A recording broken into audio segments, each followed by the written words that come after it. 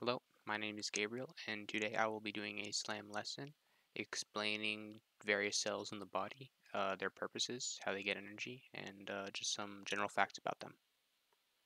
So, the first cell and the most basic one is the red blood cells. Their main objective is to supply our body with oxygen and to transport oxygen throughout our body so that we have energy to function. Uh, like almost every other cell, they gain energy by absorbing sugars uh, from the bloodstream or other sources of energy that are given to them. And they, these sources are processed in mitochondria. And these are the little beans over here that you can see. These provide the cells with their energy in order to undergo their functions um, and to do various chemical reactions.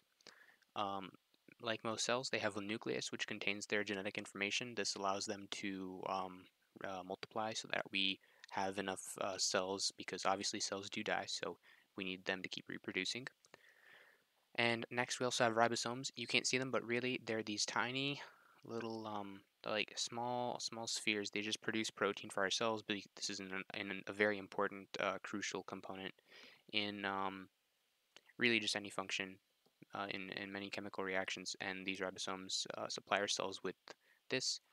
Um, they are found in this, it's kind of like a maze. It's um, just some layers of tissue surrounding the, the cell.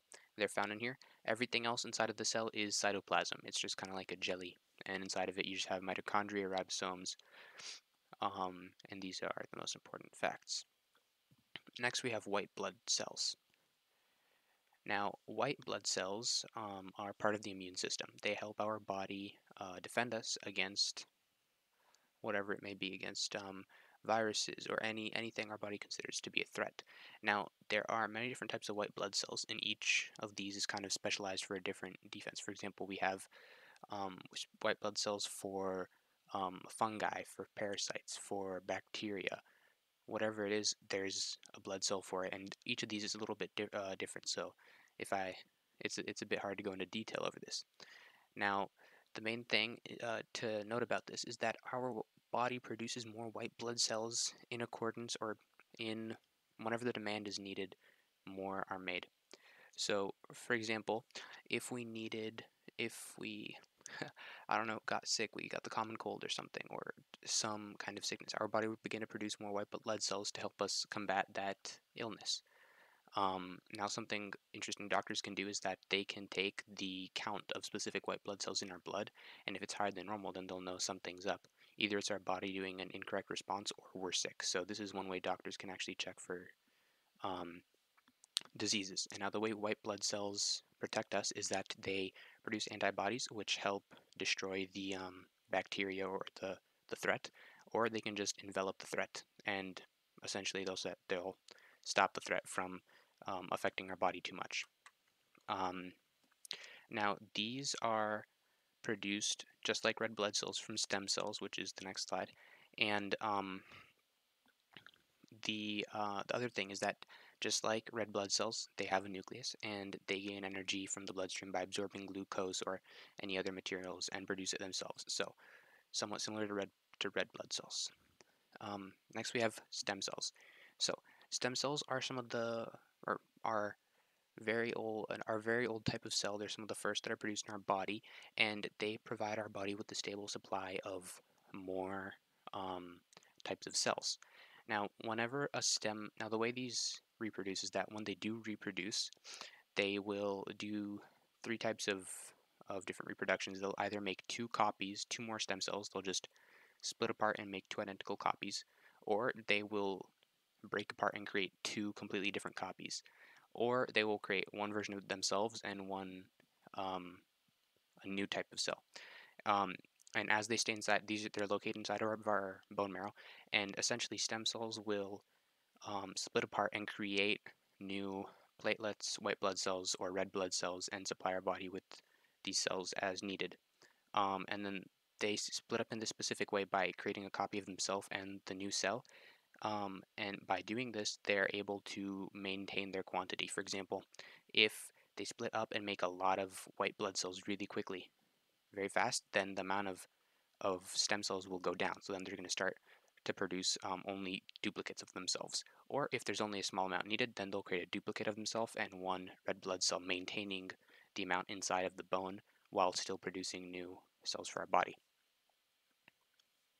Next up is platelets. Platelets. Um, they are only found in mammals and they're produced from the stem cells, like I said before.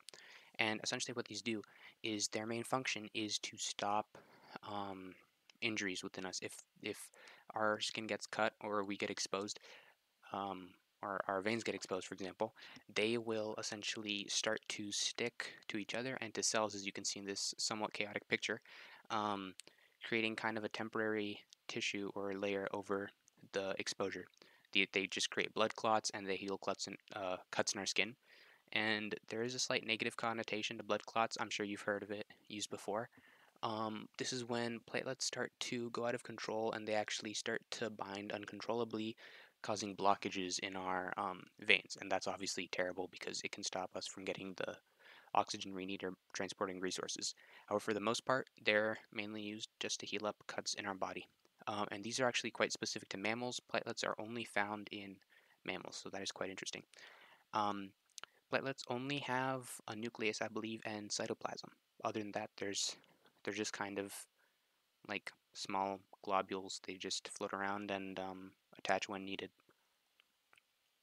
Now, the final type of cell in our body are fat muscle and uh, skin cells.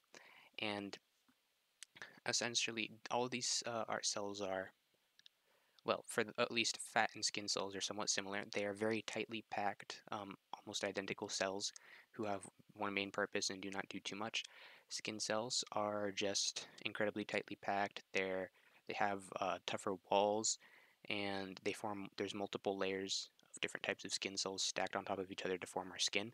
And in order to get energy and to keep them healthy, they diffuse. Um, they diffuse. Um, they gain their nutrition. It diffuses from beneath them through the layers of the skin in order to um, gain energy. So this would go from taking energy from our blood um, and this goes out to the surface. Um, next, we also have fat cells. Now, fat cells are essentially um, fat cells um, grow the more fat we have. These are cells that have taken fat uh, into them and have created a sort of tissue, and they're really their main purpose is just to store fat. So they really just store energy, sit in one place, and they form this well layer of fat. That's that's pretty much it. They're they're really just like storage containers. And finally, we have muscle cells. Um, muscle cells are very interesting. As you can see this in this picture, we have kind of like a rope here and it splits out and you can kind of see a cross section as more and more parts come out. And muscle cells are kind of like super, super thin strands of like of like twine or rope or something bundled up together thousands millions of them are bundled up to create really strong fibers tendons I'm not sure what, what I'm not quite sure what the word is for them, but they essentially um, form like kind of like ropes, and they will contract to make our body move. Um, and that's that's more or less it. The way that they get energy is that they break down ATP, uh, which you might have heard is basically sugar, or they break down ATP to get energy, and um, they can get this ATP uh, by doing a chemical reaction. They can get it from glucose or from fat.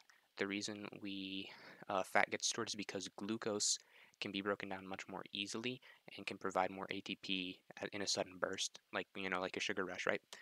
Um, which is why our body uses glucose first and stores fat later, because our, it's more favorable for our muscles to break down glucose first thing. Um, and uh, that is it for this presentation. Thank you for listening.